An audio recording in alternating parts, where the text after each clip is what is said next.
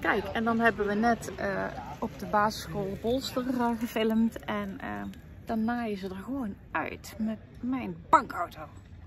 Dan laten ze me hier achter met alle rotzooi. Zo werkt dat. Kan ik ook niks aan doen als je regisseur bent van een film. Dan heb je het af en toe gewoon gruwelijk zwaar. Maar goed, ik pep me wel weer op. En ik ga er weer tegenaan. Yes! Kijken waar ze nou naartoe rijden. Want hij staat wel op mijn naam, die auto. Dus als ze er deuken in jagen, dan ben ik de Sjaak. Nou, ik zie het wel gebeuren. Het zal best wel goed komen, denk ik dan.